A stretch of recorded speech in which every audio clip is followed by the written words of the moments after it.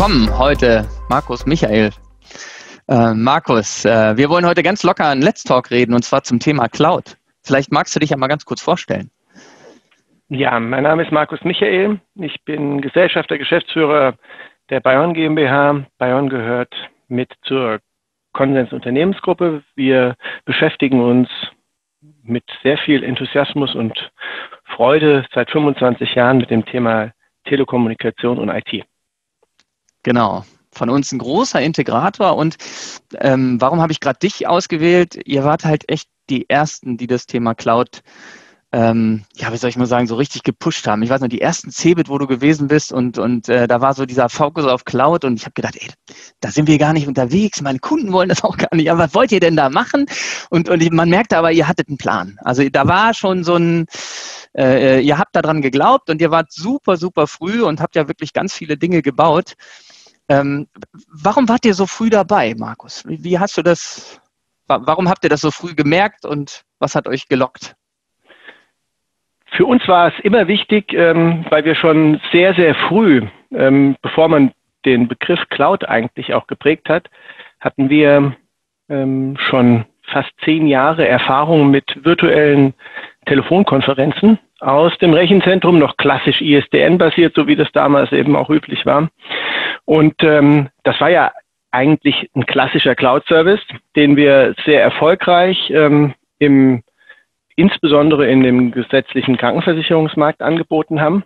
Und ähm, wir sind dann natürlich auch immer wieder auf ähm, Telefonanlagenlösungen angesprochen worden, die wir dann auch klassisch ähm, entweder mit betreut haben oder auch vor Ort installiert haben. Wir waren, waren Partner von, von der Siemens, wie man das so seinerzeit war, von der Avaya oder noch Tenovis. Und ähm, wir haben selbst eben auch ähm, größere äh, Installationen eben alles on-prem gemacht und haben dann irgendwann uns die Frage gestellt, ob es nicht vielleicht eben auch eine Lösung gibt, die passend ist zu unserer ACD-Cloud-Lösung und ähm, haben dann in der ersten äh, größeren Installation zwar aus dem Rechenzentrum des Kunden heraus ähm, noch mit Alcatel ähm, ein weltweites Projekt ähm, gestartet. Und ähm, das war semi semi ähm, optimal und nach drei Jahren war nicht nur der Kunde froh, dass der Vertrag zu Ende war, sondern wir waren auch eigentlich ganz ganz dankbar. Ähm, aber das hieß nicht, dass das Kundenverhältnis äh, zwischen uns ähm, unterbrochen werden sollte, sondern ähm, der Kunde gab uns die Bitte, dass wir uns mal intensiver mit Innovaphone auseinandersetzen, was für uns auch ähm, ganz spannend war.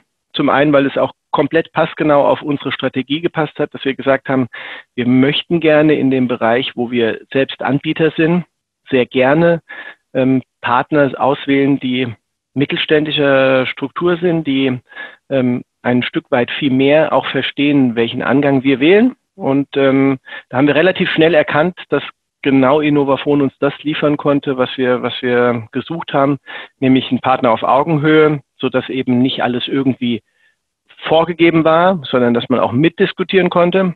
Und ähm, was es damals noch nicht gab und was wir dann eben auch bei Innovaphone ein Stück weit geweckt haben, war natürlich so ein sehr starker Cloud-Ansatz. Innovaphone hat sich seinerzeit mit Cloud auseinandergesetzt, aber lange nicht so intensiv mit der Vision, die wir dann eben auch aus diesem Projekt heraus und unsere ACD-Erfahrung ähm, entwickelt haben.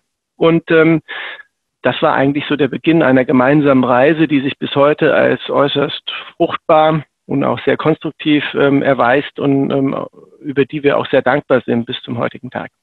Ja, das gilt auch für uns. Also ich denke, wir haben von euch super viel lernen dürfen über, über Cloud und die Herausforderungen für Cloud und was man da alles so braucht. Und bin ja äh, immer begeistert gewesen, was ihr da auch alles entwickelt habt. Ne? Also ihr hattet irgendwie eigene webbasierte Rollout-Tools gebaut und wenn ihr mir mal erzählt habt, wie schnell ihr Rollouts gemacht habt von, von Kundengrößen, die ja, signifikant vielstellig gewesen sind. Äh, und du mir immer erzählt hast, wie die Rollouts geplant sind und, und das muss schneller gehen und das müssen wir. Ich habe gedacht, das machen die doch nicht. Also das kriegen die doch nicht geregelt, aber irgendwie habt ihr das alles geregelt gekriegt. Hat mich persönlich immer begeistert und wie gesagt, die Tools, die, äh, die ihr da gebaut habt, wo ihr dann wirklich hier so, so Scanning-Tools gebaut habt, wo ihr dann Barcodes eingelesen habt bei den Rollouts, um immer schneller zu werden und, und die Kisten einfach auf den Tisch zu stellen, damit die automatisch provisioniert werden. Das war schon was, was mich immer begeistert hat. Und äh, das, was du sagst, auf Augenhöhe, dass wir voneinander gelernt haben, das hat mich äh, bis, bis zum heutigen Tag äh, begeistert. Und ähm, ist ja nicht so umsonst, seid ihr auch so erfolgreich mit uns. Also ich glaube, wenn ich mir angucke, wer die meisten Cloud-Installationen hat, dann seid ihr das im Moment. Ich weiß nicht, wie viele User habt ihr aktuell drauf, Markus? Wir haben jetzt inzwischen, ähm, sind wir bei knapp 12.000. Ja, das ist schon, ja. schon eine, eine, eine, wirklich nette Größe. Ja. Also es ist natürlich, wenn man sich überlegt, wie lange wir das jetzt machen, ähm, bin ich auch ganz ähm, offen und auch, auch ehrlich, ähm, könnte ich mir da schon noch, könnte ich mir schon noch ein bisschen mehr vorstellen. Aber ich glaube, dass wir gerade jetzt auch in den, in den letzten Monaten gesehen haben, dass natürlich eben dieses Vambon-Spiel auf der einen Seite sehr stark standardisiert und automatisiert, auf der anderen Seite aber trotzdem immer wieder in der Lage zu sein, auch ein Stück weit ähm, auch ähm, individualisiert Kundenanforderungen auch abzubilden. Ähm, das, das bringt uns den entsprechenden Erfolg. Wir waren am Anfang immer kompromisslos, was das Thema Sicherheit anging, äh, redundante Abstützung, zwei Rechenzentren, nicht irgendwie zwei Brandabschnitte in einem Rechenzentrum. Mhm. Wir haben eben da von Anfang an Wert drauf gelegt. Wir haben aber auch, das sehen wir auch in dem laufenden Prozess jetzt nach über über fünf Jahren, dass wir natürlich auch äh, im Design immer wieder auch ähm, Anforderungen en entwickelt haben, die eben natürlich nicht ganz äh, von Anfang an zu erkennen waren. Mhm. Und alles in allem ähm, ist es nach wie vor ein spannendes Feld und ähm, auch die Positionierung, also wo wir uns eben auch gerne sehen heute im Markt, ähm, die ist, die ist einfach ähm, nicht in dem vergleichbaren zehn Ports ähm, online bestellt und fertig, sondern äh, eher auch in dem, in dem größeren Mittelstandssegment, wo man eben auch dann eine gewisse Anforderung, eine gewisse Integration hat, wo man eben auch eine gewisse Tiefe braucht, eben der, der Anbindung. Und das sind eigentlich die Projekte, wo wir zu Hause sind.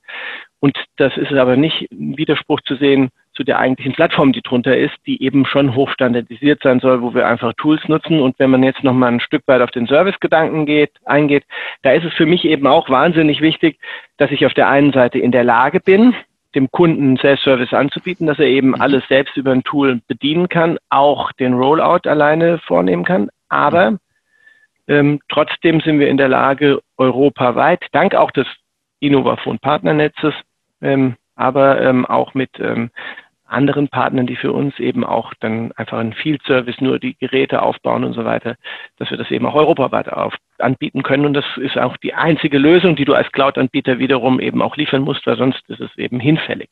Ja, dann bist du wieder ein, ein Anbieter, der aufgrund äh, der Infrastruktur das Ganze ins Rechenzentrum stellt, aber fährt dann trotzdem nur 100 Kilometer um den Standort herum und der Rest ist eben zu aufwendig. Also mhm. das würde dann ja dem ganzen Ansatz auch widersprechen. Genau. Äh, Besonderheit für euch ist ja, dass ihr selber auch ähm, ja, Carrier-Dienste anbietet, also Telefonie quasi einfach auch direkt anbietet und, und äh, Rufnummernportierungen sind bei euch tagtäglich quasi. Das heißt, ihr nehmt die Rufnummer auch zu euch in die Cloud, ne? Ja, wir kommen, wir kommen ja klassisch aus diesem Carrier-Umfeld. Wir haben jahrelang ähm, reine Vermittlungstätigkeiten ähm, absolviert, haben die ganzen, diese ganze Liberalisierung des deutschen Telekommunikationsmarktes auch mit begleitet. Von daher haben wir heute noch ungefähr auch 6000 Aufträge, die wir, die wir im, im Jahr ähm, bedienen, beziehungsweise auch abwickeln. Mhm. Das heißt, ähm, das ist in der Tat für uns uns, äh, unsere, unsere Herkunft, da kennen wir uns auch aus. Das ist natürlich auch die Kombination, weil die eine Fragestellung ist, warum bietest du jetzt auch Leitungen an oder, oder warum machst du das eben auch als Cloud-Anbieter? Die nächste Sache, wir werden ganz häufig eben gefragt, naja, wenn ich einen Cloud-Service nutzen will, wie komme ich denn zu euch in die Cloud? Und mhm. das ist eben die Kombination, dass wir sagen, ja, wir haben da sogar eigene Leitungen und wir haben natürlich eigene Services auf mhm. äh, Vorleistungslieferantenbasis. Aber das ist natürlich ein Thema, was sehr gerne auch genutzt wird und wo wir dann natürlich auch alles aus einer Hand anbieten können. und damit eben auch dann Redundanzkonzepte, Anbindungen auch in kleineren Homeoffices äh, realisieren können, sodass das eben dann am Ende wie ein komplettes, wie ein kompletter Lösungsansatz von Bayern aussieht. Ja. Jetzt fand ich bei euch äh, extrem spannend, ihr macht ja das nicht dogmatisch. Also ihr sagt ja nicht, Cloud ist die Zukunft, muss unbedingt Cloud machen, sondern der Kunde hat ja die Wahl. Der kann ja Cloud machen, der kann aber auch On-Premise machen. Also wenn, wenn der möchte, aus welchen Gründen auch immer, dann kann er ja auch On-Premise machen. Welche Kunden entscheiden sich denn für was? Also was unterscheidet denn Kunden, die bei euch in die Cloud gehen und welche hätten gerne On-Premise?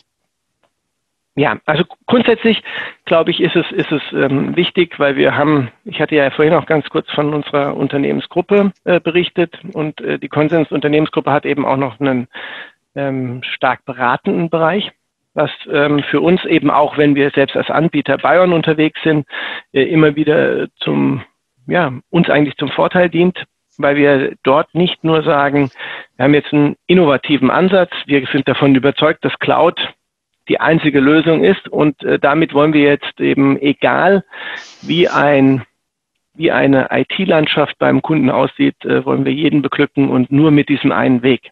Das mhm. ist grundsätzlich natürlich auch eine Frage, wie man das ähm, auch äh, als Lebensweisheit sieht, ob es eben nur einen Weg gibt, der zum Ziel führt. Ähm, das ist auch nicht meine Überzeugung, sondern ich bin eben auch der Meinung, dass aus unterschiedlichen Konstellationen auch äh, Menschen unterschiedliche Entscheidungen treffen und die müssen nicht immer für jeden Moment eben auch naheliegend sein. Aber ähm, die Struktur gerade auch der, der IT-verantwortlichen Leiter ist natürlich so unterschiedlich, dass es eben auch ganz klar Ressentiments gibt ähm, dass man eben das Thema Datensicherheit äh, anspricht, dass man sagt, ich hätte gerne noch immer, ähm, jetzt im Zusammenspiel mit Innovafon ist es ja das Kästle, dass man gerne, dass man gerne ähm, streicheln möchte oder eben die geliebte, das geliebte Blech, das man eben noch in den eigenen vier Wänden haben möchte oder aber auch die Infrastruktur, die gesamte IT, Strategie so darauf ausgerichtet ist, dass man sagt, mhm. wir wollen einfach möglichst alles bei uns auf dem Campus haben.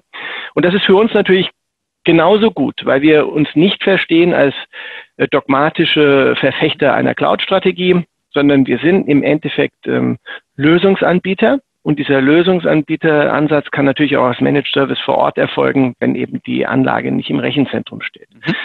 So, dann hattest du aber auch gefragt, was ist denn eigentlich jetzt der Unterschied? Wer entscheidet sich für das eine oder das andere? Und das genau. habe ich eben, glaube ich, damit schon ein Stück weit auch beantwortet, weil es ist gar nicht so, dass ein ähm, jedes Unternehmen aus der Branche XY sich nur für die On-Prem-Variante entscheidet. Also es gibt sehr viele Finanzdienstleister, die auch wir betreuen, die sagen, Cloud ist für sie absolut eine Option. Mhm. Ähm, es gibt ähm, öffentliche Verwaltungen und auch Kommunen, die explizit sogar in ihren Ausschreibungen nur darauf hinweisen, dass sie eben eine Cloud-Lösung anstreben. Das heißt also für mich ähm, ist es jetzt nicht so, dass man das an einem Vertical festmachen kann, sondern ich glaube, es ist eben immer sehr stark auch, und das ist ja auch das Schöne noch, äh, personengetrieben, die eben letztendlich verantwortlich sind. Und das hängt natürlich dann auch mit einer IT-Strategie zusammen. Und wenn ich eine, über eine IT-Strategie rede, kann die eben auch so sein, dass man sagt, nee, wir wollen das eben bei uns vor Ort haben. Mhm. Und das wäre niemals ein Ansatz, dass ich dann sagen würde, nö, das ist für uns nicht interessant, sondern wir können das sehr wohl ähm, so respektieren, weil auch dort wir wieder diesen Lösungsmanaged Service-Ansatz genauso fahren können. Und dann wird das Ganze eben vor Ort aufgebaut. Ich, ich denke, ähm, bei bei, bei eurer Cloud-Lösung habt ihr ja selbst entwickelte Produkte und das kommt irgendwie alles aus Europa. Von daher, äh, glaube ich, ist das Thema Sicherheit ja auch abbildbar. Wie siehst du das mit anderen Cloud-Lösungen? Ich meine, das würde wahrscheinlich den Rahmen sprengen, aber äh, wenn ich mir die, die äh, internationalen Vorgaben angucke, sowas wie ein, wie ein Cloud Act, den es ja nun mal gibt, ist ja ein niedergeschriebenes Gesetz, ähm, sind alle äh, Cloud-Lösungen so wie, so wie eure, unsere oder, oder äh, siehst du schon Kunden, die auch Mehrwerte aus Sicherheitsbedenken für, für eine deutsche Cloud-Lösung oder eine europäische Cloud-Lösung bei euch sehen? Also es ist ein, ist ein wahnsinniges ähm, Argument, dass wir, dass wir eben sagen, äh, Cloud Made in Germany, obwohl ich in der Vergangenheit eher immer so ein bisschen diese Probleme hatte mit dieser, dieser Idee Made in Germany. Ähm, ähm, für mich ist auch Made in Europe besser. Made in Europe ist definitiv besser, auf, auf jeden Fall. Ähm, aber auch aber auch ähm, der, der gesamte Ansatz, äh, wenn du, wenn du dir eben natürlich unsere, unsere generelle Entwicklung anschaust, ähm, auch mhm. mit den ganzen globalisierungskritischen äh, Tönen, dann bin ich natürlich dann nicht, nicht, nicht zwangsläufig nur begeistert davon. Trotz alledem gibt es Kunden, die darauf Wert legen und die sagen, sie möchten das Ganze eben hier vor Ort äh, wissen. Sie möchten eine gewisse Sicherheit haben. Sie möchten auch sicher sein, dass ihre Daten eben nicht zwangsweise irgendwie dann eben weitergegeben werden. Und wir haben auf der anderen Seite aber auch ähm, den Punkt, dass wir natürlich jetzt durch die gesamte Covid-19-Situation natürlich einen wahnsinnigen Run erlebt haben auf ähm, ja, Digitalisierungs- und Kollaborationstools, die eben fast alle nicht mehr in diesem Einklang zu bringen ja. sind, weil jeder ja. nutzt Zoom, jeder nutzt äh, Blue Jeans oder eben auch Teams beziehungsweise ja. Skype. Und es gibt nur wenige europäische Alternativen an der Stelle. Und jetzt ähm, muss man natürlich abwarten, was jetzt ähm, aus dieser Covid-19-Situation ähm, hervorgeht. Also was werden wir dann am Ende ähm, auch aus Datenschutzgründen wieder äh, nochmal neu definieren und diskutieren. Im Moment ist erstmal ähm, ganz viel Datenschutz und Sorge, glaube ich, zurückgedrängt worden vor der Praktikabilität. Ich brauche überhaupt erstmal eine Lösung, um am Betrieb weiterhin teilnehmen zu können. Mhm. Und das ist für mich im Moment äh, noch ein bisschen unklar. Was ich aber glaube und wovon ich überzeugt bin, dass perspektivisch definitiv die Qualität zunehmen wird. Während wir gerade am Anfang im März, April ähm, so ein Interview, wie wir es jetzt führen, nicht haben führen können, weil mhm. einfach die Leitung dreimal, also nicht nur die Leitung, vielleicht eben auch die Plattform drei oder viermal zusammengebrochen ist, ähm, ist, ist natürlich äh, im Moment das Augenmerk, wie kriege ich eben auch einen stabilen Betrieb hin. Und das nächste wird dann sein, dass natürlich die Rechtsprechung, und da sind ja im Moment einige Themen auch offen, die eben nicht geklärt sind, die wir eben klären müssen, wo wir auch wieder Rechtssicherheit äh, erlangen können oder müssten müssen oder müssten.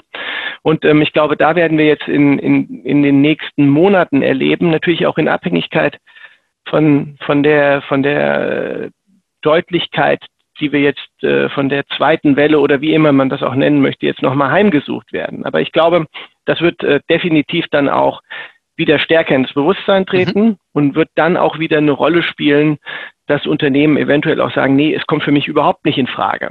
Aber auch dort würden wir sagen, klar, verstanden. Es gibt gewisse Dinge, die du eben in, in der Cloud besser lösen kannst, die du einfacher lösen kannst, die du eben auch als gescherte Lösung ja, ja mit weniger Aufwand lösen kannst. Mhm. Und jetzt kommt der Punkt, was ich aber immer wahnsinnig stark fand ähm, an eurem, unserem Ansatz. Also mhm. da muss man wirklich sagen, dass wir eben ja in unserem Konstrukt immer eine Private Cloud für unsere Kunden aufbauen. Also der, die virtuelle Appliance pro Kunde ähm, stellt für mich ein wahnsinniges Sicherheitsmerkmal dar und äh, unterscheidet sich von ganz vielen der der, der Centrix-Angebote draußen im Markt, ja. ähm, weil ich eben nicht Bestandteil einer großen Community bin, obwohl natürlich man gerne Bestandteil auch einer Innovaphone-Community ist, aber eben ich habe meine eigene Appliance und das ist eben auch wichtig. Ja, ähm, du hast vorhin das Thema Globalisierung äh, angesprochen und Globalisierungsgegner. Ich habe da ja eine ganz andere These, deswegen ich spreche es vielleicht einfach nur ganz kurz an. Vielleicht äh, äh sprengt, also ich, ich werde da nicht auf Details eingehen, aber das, was ich glaube, was die Zukunft der Kommunikation sein wird, ist, dass wir so Dinge haben wie ja, Echtzeitsprachanalyse zum Beispiel. Also, ne, ich werde morgen auf Chinesisch sprechen können und du wirst es in Deutsch lesen können, direkt Echtzeit übersetzt. Und wir werden morgen durch die Digitalisierung vielleicht ganz viele Prozesse finden, die werden automatisiert laufen.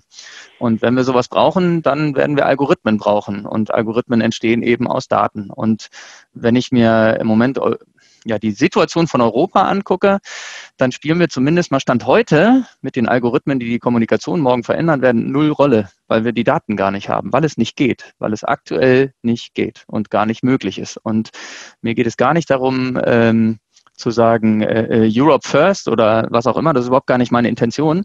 Aber ich persönlich glaube, dass diese Technologien, die sich durch Cloud-Lösungen gerade überhaupt ermöglichen, dass wir sehr wohl wissen sollten, wem die gehören, diese Algorithmen und wer welches Ziel damit verfolgt. Also benutzen tun wir die tagtäglich, wenn wir Facebook aufmachen oder irgendwelche Newsleader gucken. Und das wird auch die Kommunikation treffen, da bin ich mir ziemlich sicher.